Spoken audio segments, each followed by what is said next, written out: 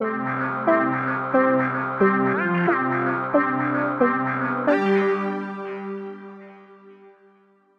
amigos, yo soy Chris de PlayStation Stores, bienvenidos a Guacamelee.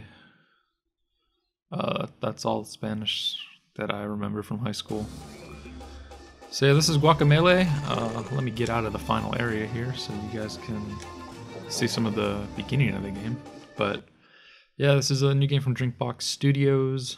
Uh, it's $15 cross-buy on the PlayStation Network, so that means you get it for Vita and PS3. And it is a sort of Metroidvania brawler sort of game, I guess, is the best way to put it. Your Juan here, who is a, a humble agave farmer from uh, the city of, what was it, Pueblo, Pueblo Lucho, and uh, he is childhood friends with the daughter of the president of wherever this takes place, I guess, a fictionalized Mexico. And she gets kidnapped by the evil skeleton guy. I forget his name. I think it's Charo something. Here, I know how I can check. This probably uh, I think it's uh, like Charo Calaca. But yeah, he takes her and kills you in the process, sending you to the world of the dead. And from there, uh, you have to get back to the world of the living by getting a luchador mask. And eventually you get all sorts of crazy powers, like uh, all these different moves I'm doing here. So they don't tease you at all, like they do in some like Castlevania Metroid games. It's all you gain moves by playing through different areas and unlocking them through hitting these statues. So I guess I'll show some of the combat since that's probably the deepest part of the game. We'll go to the Caverna del Pollo. Uh, I'm playing on hard mode right now, as you can see, so the enemies are a little bit tougher than normal. And um, they changed up a little bit. I think they changed some of the stuff with some of the bosses where they added different uh, enemy types to them and stuff like that. But these are your save points as well as a shop where you can buy different moves. You can buy a much like uh, Zelda, if you find a heart piece, uh, you have to find three of them and it'll give you some more meter for your health. Same with the stamina gauge. Um, if you get three stamina pieces, you'll get another bar, a little square for your stamina meter. They can either be bought from that store or they can be found throughout the game. Uh, this is a teleporter which takes you to the anywhere that's another one of these totems that you've activated. So uh, let's get into it. So your basic uh, gameplay is just uh, combos and throw and grapples. You can throw between dimensions as well as uh, execute these different like sort of special moves. There's a whole like section where you can learn how to do different combos within game. So some things you want to get like air juggle them and you can hit them across like that or all sorts of stuff. There's really a lot you can do with the combo system in the game, which is pretty refreshing and doesn't make it boring at all. Like I'm always having fun doing combos and stuff like that. It's actually the most like deep part of the game too. I came in didn't thinking it would just be a mashing like hitting uh, square a bunch of times, but you really have to be uh, you have to plan out your moves eventually because they'll start adding like uh, barriers on some enemies and uh, there'll be enemies in different dimensions that you have to swap between to kill, and you have to be mindful of that stuff all the time when you're playing which makes it a real good, a really good challenge too when you're having, on hard mode, especially when you're having to swap and manage enemies between different dimensions, as well as uh, there's a dodge here, so you can get a. This guy try to attack me, I can dodge out of the way. You can see you get little a little buff meter, like you get a little shield whenever you dodge correctly.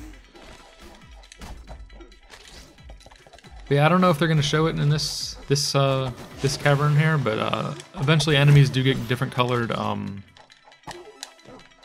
they get different colored shields around them, I guess, and you have to hit them with a different special move to break the shield, and then you'll be able to finally start attacking them. So again, the special moves are there's an uppercut here with circle. Uh, if you do in, if you do a like a left or right in circle, you get a dash. If you're in the air and hit down, you do a frog splash. There's also just a normal hitting circle and doing a headbutt. And then besides that, you can uh, grab onto walls in this game, and if you hit up at any time when you're on a wall, you do a little dash up the wall, as well as if you hit left or right, you can do a fly, and those can hurt enemies while you're doing them as well. So there's a bunch of different enemy types in the game, and each have a different weakness. Uh, whenever they're red like that, that means they can hurt you and you can't dodge, so you want to be always trying to hit enemies before they turn red, otherwise you're going to be taking damage. You can, however, throw enemies into enemies when they're red, so to break that little damage meter. So you can see that you can do pretty cool combos in the game. It doesn't it doesn't reward you other than you get extra little uh, hit points there, and I think that triggers into the amount of money you earn when you kill the enemies, because you have to use the money to buy different items from the store. Uh, not items, sorry, but um, you can buy moves. Like there's a let me do one here. There's like a pile driver there. You can kick the enemies. Let me do a kick here. There's a kick and there's one more.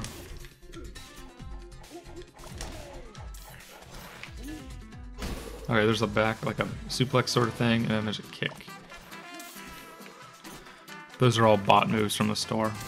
But other than that, it's just gaining the new abilities through uh, unlocking different statues, that sort of thing. Oh.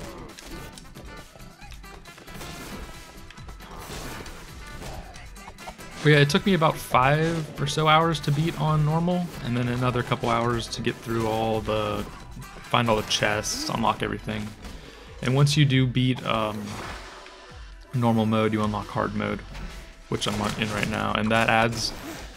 I guess the enemies take a little bit more damage, and they do a little bit more damage to you. It's one thing I noticed. Also, the bosses are a little bit really like tough. I don't know if they changed their like AI at all, or they added special things to them.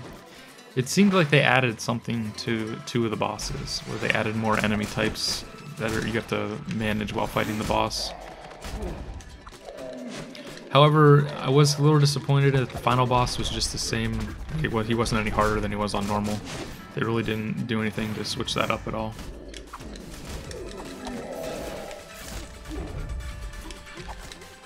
You can kind of like infinite air combo here. I'll try to show you. Oh, I'm getting worked right now.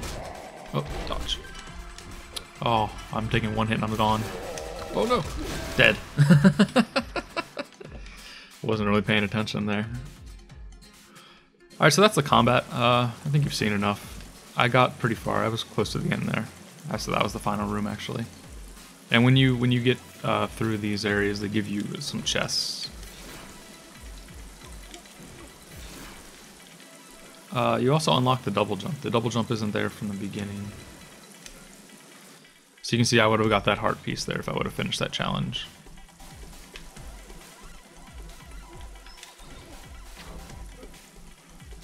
Um, so I guess let's go to a, a world map area. Make sure there's nothing over here. Yeah, okay. So yeah, the overmap, uh, basically you can travel between either quick travel using the totem things, or you can just run through the areas to get to uh, each different section.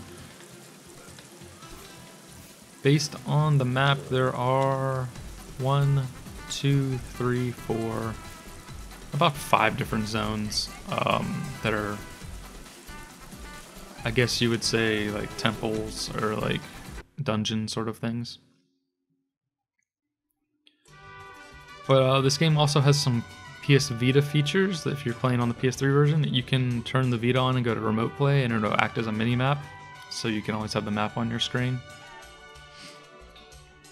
Uh, there's some quests you can do in this area. I don't know if I finished them. Oh, okay, I finished the best enchilada one. Let's see if I did any of the other ones. Yeah, there's a couple different quests. Uh, they give you more items, like they give you more money or uh, things like that. Uh, I, th I, think the one I didn't do here is uh, with the chicken thief, so we can do that real quick.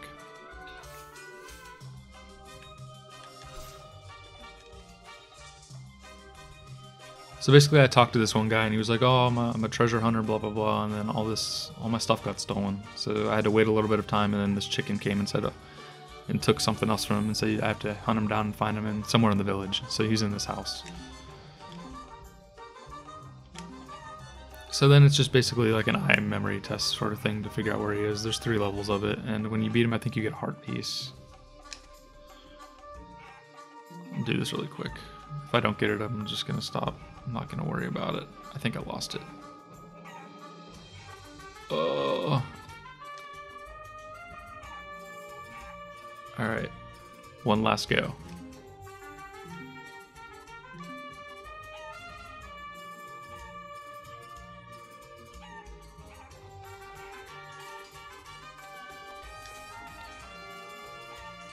Nice, I'm the best. Holy biak. Byak, Byak, Byak. So here you go. You can see the heart, getting a heart piece sort of thing.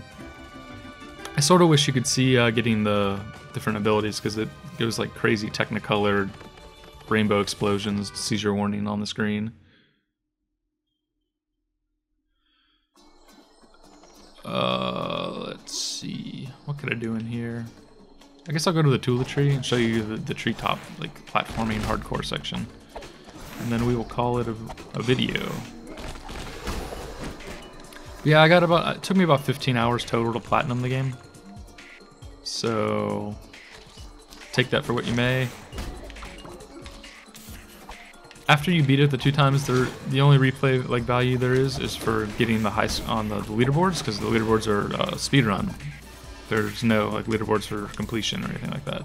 It's a speed run 100%, speed run normal, speed run hard mode, and speed mode uh, speed run hard mode 100%. So back whenever uh, the game wasn't out for the public, I saw one of the I guess testers got about a 55 minute speed run in the game. So I guess that's a, a, sort of time you can shoot for. Am I going the right way? Yeah, okay. Oh, nice. You can see a, a barrier I didn't break down here yet.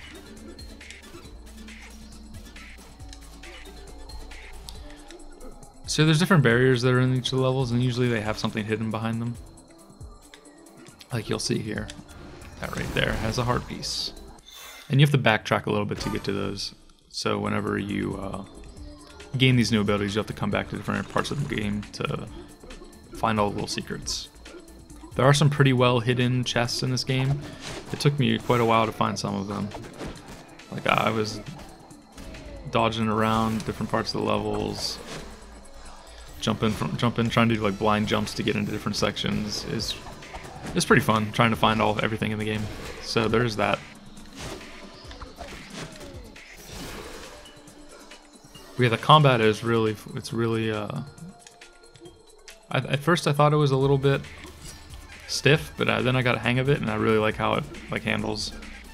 Although I did get some, uh, my hands kind of cramped up when playing on Vita, so I did most of my game playing on the PS3. Yeah, the whole light dark thing isn't a big a deal as I thought it would be. Mostly it's just for managing enemies. There, there aren't too many puzzles later in the game.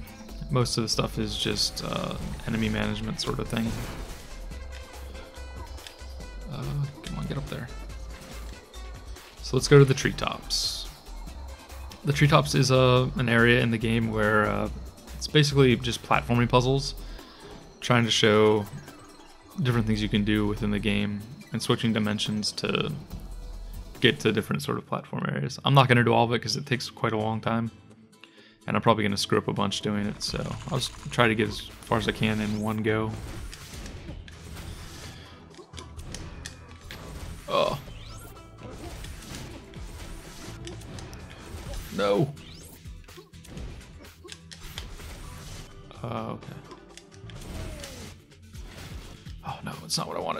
What I wanted. Oops.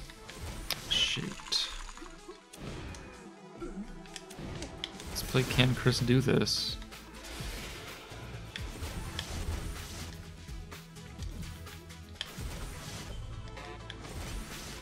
So you can see here they're doing a bunch of different things with the element, the, the dimension switching. Oh, stupid!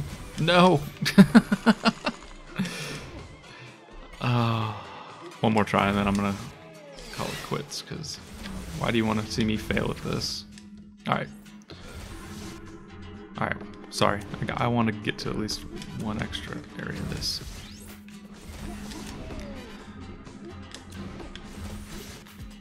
Alright.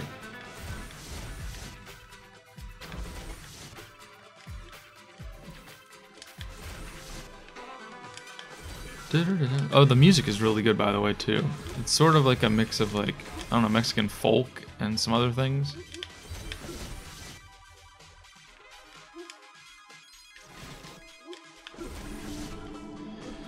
Ah, oh, now I have to remember how to do this one. Okay, it wasn't that. oh, Oh no, I lost my double jump. Or my, my punch or something. Alright, yeah, so... There's about there's a bunch of those you have to do. And things like that. So this is the Tula tree, it's another area. This is mostly platforming, there's a couple like enemy fighting, that sort of thing. But yeah, this is Guacamelee. It's out now for $15 cross-buy on PS3 and Vita. We have a review up on the website if you want to read it. It's on psnstores.com. Uh, thanks for watching.